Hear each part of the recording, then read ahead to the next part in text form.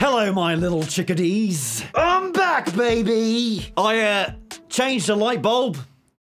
I don't think anyone will notice. Seems I picked a good time to rematerialize because Boris Johnson has finally resigned, following mass walkouts from his cabinet after a string of scandals. He kind of reminds me of that troll from Lord of the Rings. You know, Fellowship of the Ring, you know, the first one. They have a cave troll. No matter how much destruction he causes, or how many people jump on his back, he just won't go down until he's poked with the biggest shame spear in existence. I mean, I gotta hand it to him. All throughout his term, he's had this amazing ability to not give one single about what people think of him. Normally, that would be an admirable quality, but not so much when you're making constantly terrible decisions that affect everyone. All the scandals he's been complicit in, all the webs of lies he's spun. So many lies. He has so little respect for the democratic process, for the millions of working class people adversely affected by his horrific choices as PM. I mean, I would applaud his commitment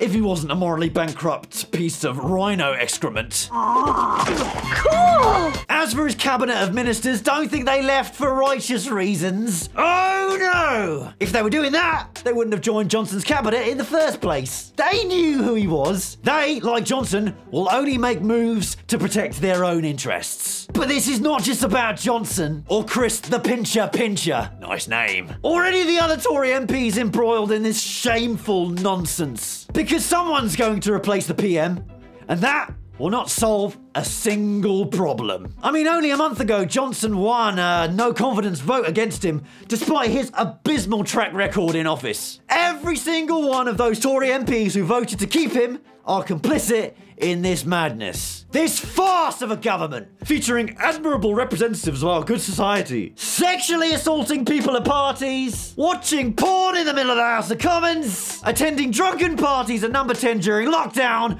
whilst we watch relatives die on Zoom. I could go on. It seems that the sole purpose of the Conservative Party is to protect themselves and their millionaire friends and royally f- the rest of us. Never has this been more evident than the cost of living crisis. Or, to use the official title, the Tories are trying to kill you crisis. I mean, I'd probably feel much better if they just came out and said those words. We want to kill you all. Die, poor people, die! Rather than hiding behind this inflated price rise bullcrap. If you're gonna kill me, just be honest about it. I'll understand. Once I'm dead. Rising energy bills, rising fuel prices, skyrocketing goods prices due to that word we are not allowed to say. I'm not gonna say it. I'm not gonna say it. I'm not. I'm not gonna say it. I'm not gonna say it. Brexit! Denying workers a fair pay rise. Thankfully, the leader of the opposition, and by leader of the opposition, I of course mean this guy, and fight back against this suppression of wages. who single handedly And what do you think we'll do? We run a picket line and we'll ask them not to go to work. took to pieces Well, I think Jonathan should apologise for talking nonsense. every right wing journalist Richard, you do come up with the most remarkable twaddle. who tried to take him on.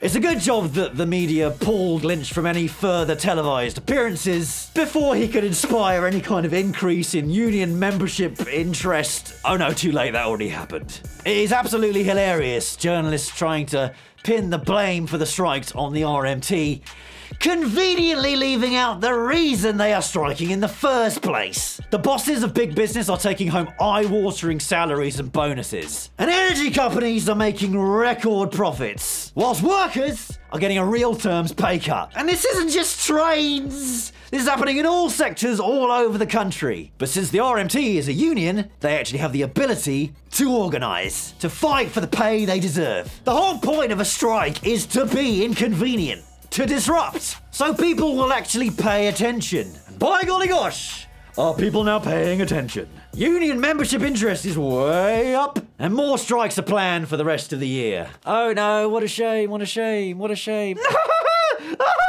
wow, who knew? That people actually don't want to get into oblivion if they can help it, and will fight for their rights if they're given a platform to do so. And it seems that the effects of the government's terrible decisions are finally being felt at the ballot box, where Johnson lost two by elections at once. Starmer's Labour claimed this a big victory for them, despite both the Labour and Tory vote share plummeting. Starmer.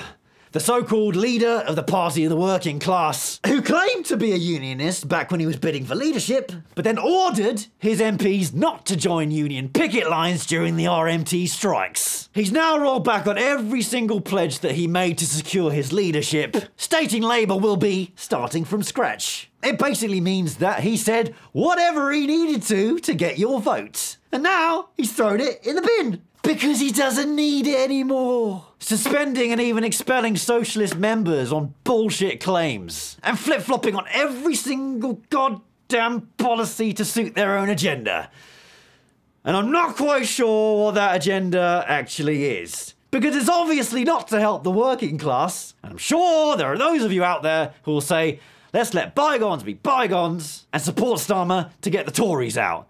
And I say to you, no, I'm not doing that. F- no. A vote for that is a vote to enable privileged men with bags of money to do whatever the they want. Sound familiar? I honestly can't really see a difference anymore between Starmer and Johnson. They are essentially standing on the same side of the fence. Just one is a bit further towards the cesspit of awfulness than the other. But not that much further, mind. And warning, this is a controversial thought. For some reason, it's controversial. But shouldn't we be able to elect regular, working class people like us to represent us? People who aren't privately educated, weird alien being things born into extortionate wealth and power. Who don't have the first idea about the needs and the plights of regular working class people going about their daily lives. My question to you is why should we need to compromise? Why should we have to settle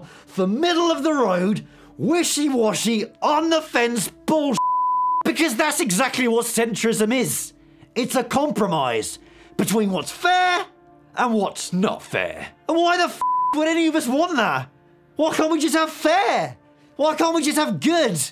And policies that don't condemn us to an early grave because we're not lucky enough to be born into wealth and privilege. People are struggling, people are suffering, and this cost of living crisis is a political choice. To try and shift the responsibility for propping up this broken country from those that can afford it onto those who can't. And that is not sustainable because people are rapidly running out of options. And if you push people to the brink, well, they'll either break or they'll fight. And as Mr. Lynch so eloquently put it, We refuse to be poor anymore.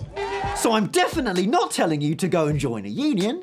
I'm definitely not telling you to get organised. I'm definitely not telling you to go on strike if you need to to get the pay you deserve. I'm definitely not telling you to go and f up.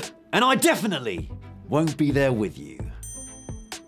Because I need to go and whack some balls. It's Wimbledon week, people! Get your head out of the gutter!